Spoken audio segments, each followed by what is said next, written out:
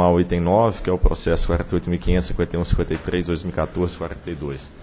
Reajuste tarifário anual de 2015 da Cooperativa de Eletrificação Rural de Itaí, Paranapanema, Avaré, a vigorar a partir de 10 de fevereiro de 2015. Diretor-relator, doutor Tiago Correia.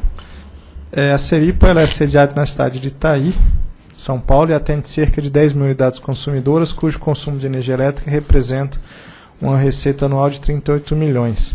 Ao contrário das, dos demais casos já deliberados hoje, trata-se de uma permissionária. E depois eu vou explicar o, um, um, detalhe que vai ocorrer nesse reajuste aqui.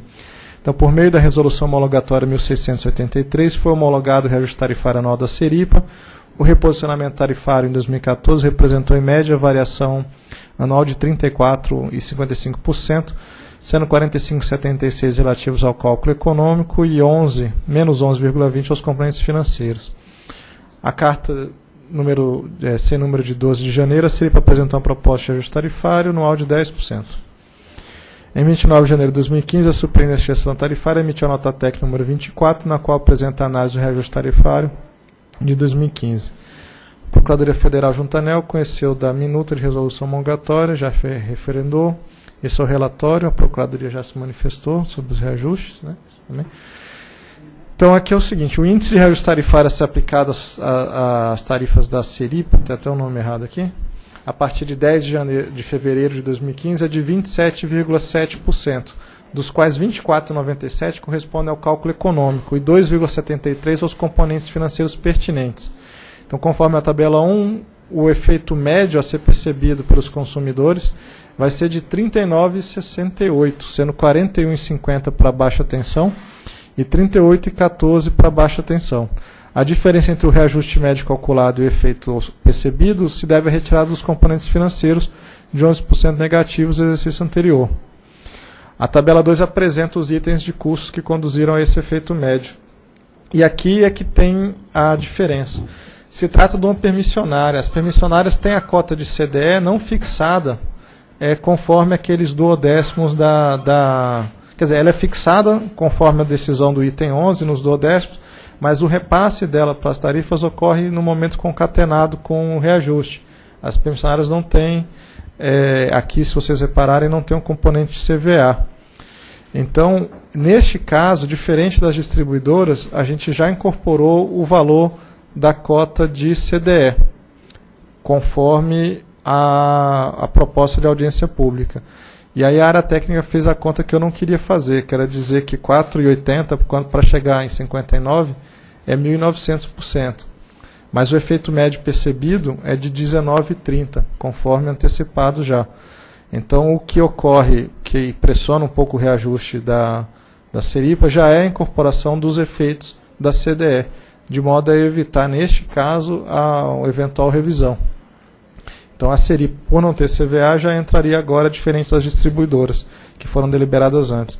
Então, em relação aos encargos setoriais, o aumento de 452%, com efeito médio no reajuste de 19,45%.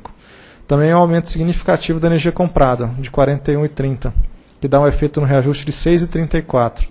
No transporte de energia, há uma redução de 11%, e que dá um efeito no reajuste de 3,61%, de modo que a parcela A teve um aumento de 42%, com a participação no reajuste de 22%. E a parcela B teve um aumento de 5,80%, com a participação de 2,79%, o que dá o IRT de 24,97%.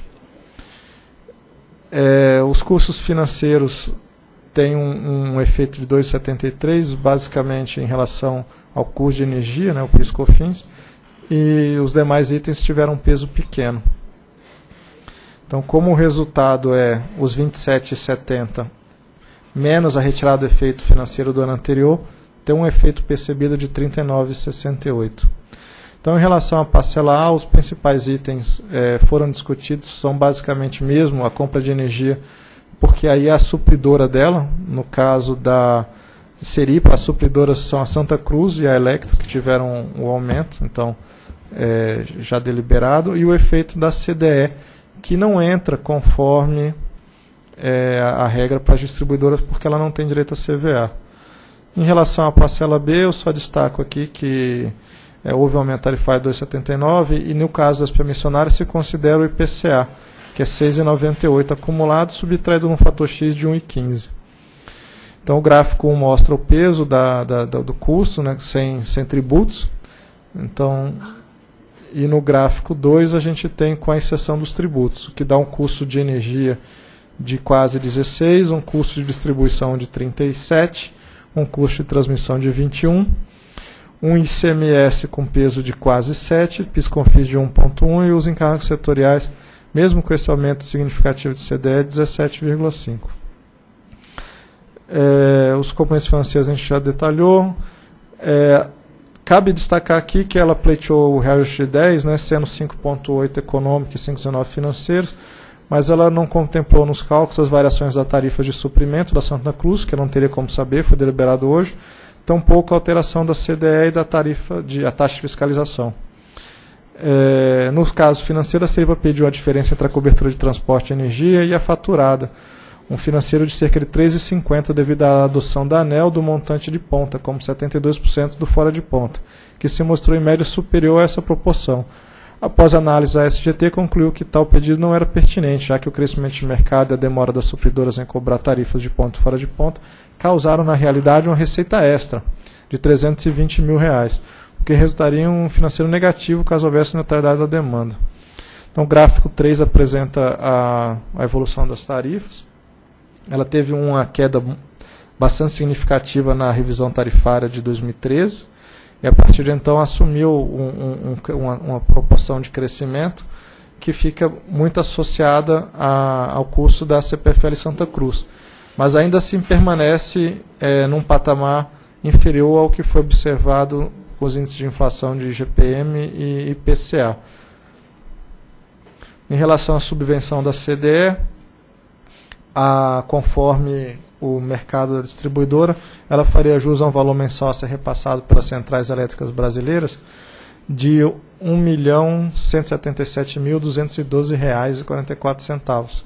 Esse valor já contempla o ajuste da diferença entre os valores previstos realizados entre julho de 2013 e janeiro de 2015.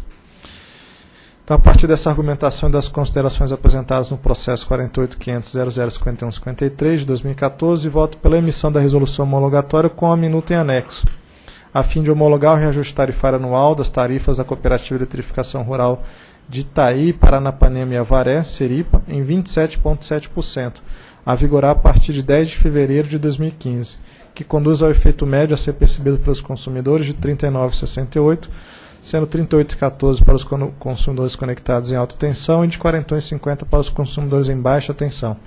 Fixar as tarifas de energia de uso do sistema de distribuição relativas ao suprimento da Seripa pela supridora CPFL Santa Cruz e Electro, fixar o valor das cotas anuais da conta de desenvolvimento energético CDE e do programa de incentivo às fontes alternativas e energia elétrica, PROINFA, homologar o valor mensal de recursos da CDE de R$ 1.177.212,44 a ser repassado pela Eletrobras a Seripa de modo a custear os descontos retirados de sua estrutura tarifária. É o voto.